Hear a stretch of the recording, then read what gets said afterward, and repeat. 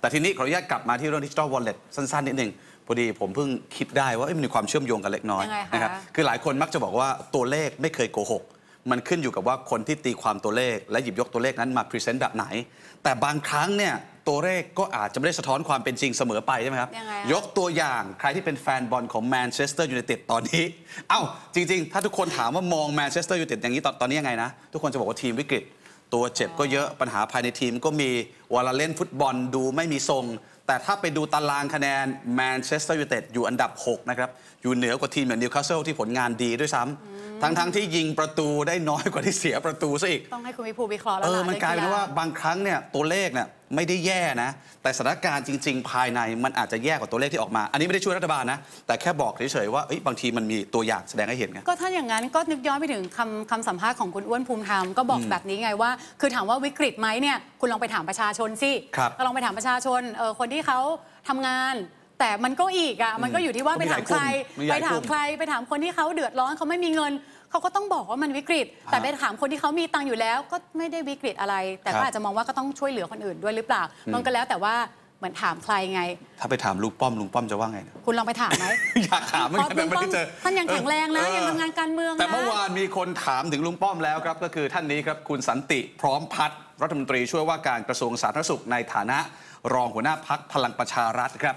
เมื่อวานนี้เนี่ยคุณสันติให้สัมภาษณ์หลังการประชุมคอรมอถึงความเคลื่อนไหว ของพลเอกประวิตยวงษ์สุวรรณหัวหน้าพักพลังประชารัฐลุงป้อมยังอยู่ยังอยู่ในสนามการเมืองต่อไปใช่ไหมนี่ครับปรากฏว่า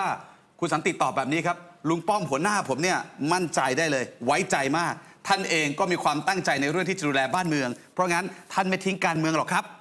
เมื่อถามต่อว่าเลือกตั้งครั้งหน้า จะเห็นพลังประชารัฐส่งคนรับสมัครเลือกตั้งกันแน่นอนใช่ไหม คุณสติบอกว่าแน่นอนร้อยเปอร์เซ็นต์และทุกคนในพักก็มีความรักใคร่กลมเกลียวกัน มีความเป็นปึกแผ่นแน่นอน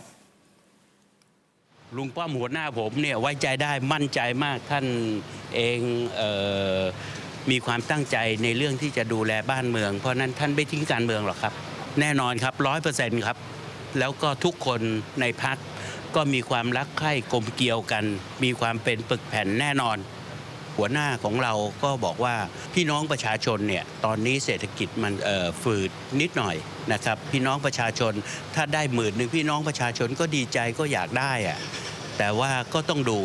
ถ้าหากว่ากฎหมายรัฐมนูญก็ดีกฎหมายการเงินการธนาคารอะไรต่างๆเอ่อถ้าไม่ถ้าไม่ติดขัดนะครับ ท่านก็บอกว่า ก็ดีให้ให้ให้ประชาชนได้เอ่อจับจ่ายใช้สอยในช่วงนี้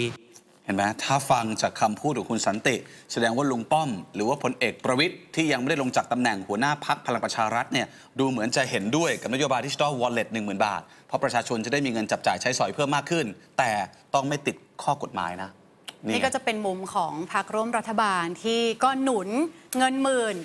แบบมีเงื่อนไขอย่างที่บอกเมื่อกี้นะคะ ก็เท่ากับว่าก็จะเห็นแล้วว่าพลังประชารัฐ รวมไทยสร้างชาติ ภูมิใจไทยก็จะพูดทำนองนี้ว่าก็สนับสนุนเงินหมื่นนะ ถ้าไม่ขัดกับข้อกฎหมายเห็นไหมคะมันก็อย่งที่จะกลับมาด้วยกฤษฎีกานี่ไงอีกไงก็ถึงบอกว่ามีความ เขาเรียกว่าอะไรอะพักร่วมคนพยายามครับไปฟังไงว่าพักร่วมเนี่ยเอ๊ะมองเป็นในทางเดียวกันไหมกับพักเพื่อไทยครับก็สาวเสียงกันเยอะมากในช่วงสัปดาห์ที่แล้วเนี่ยเยอะมากทุๆกก็จะเห็นว่าพรรคโดนถามหมดมีมีประชาชาติที่แบบอุดหนุนเต็มที่เพราะว่าครับช่วยกระตุ้นเศรษฐกิจได้นะคะอะก็ว่ากันไปเรื่องเงินหมื่นนะคะ แล้วก็เรื่องบิ๊กป้อมก็จะเห็นทอดกระถินซะบ่อยยังไม่ค่อยเห็นว่าครับมันเป็นฤดูในทางมันการเป็นฤดูเมืองทอดกฐินอ๋อเป็นฤดูอ่าช่วงใช่ไหมนี้เป็นฤคะดู